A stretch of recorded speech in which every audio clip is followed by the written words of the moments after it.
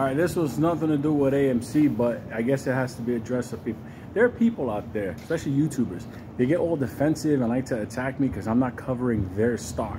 I'm talking about AMC now. I'm like, yeah, because there's a chance of having a, a, a, better run than my, my average day trades are like 50, 75 cents a dollar. This could be two, three, four dollars. And with the amount of money that I put in, it's a great play for me. And they were like, oh no, this is the play that goes. This is the play. I'm like, whatever play you want to get in, you do your own play. I do my own play. People gonna do their own play. Like I only cover a certain amount of things at once. Right now my focus is on this. I'm gonna cover other plays. I'm gonna have a play for tomorrow, probably about 10 or 11 o'clock tomorrow.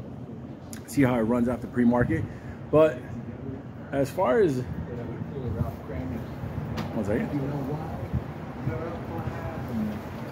Wouldn't say that.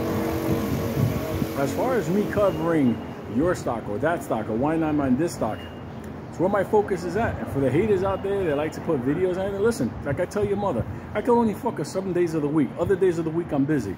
That's exactly how I see stocks. It can't be all over the place.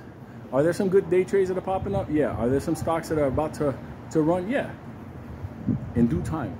But other than that, good luck with whatever you're in. There's like what, 19,000 positions out there? Can't cover them all.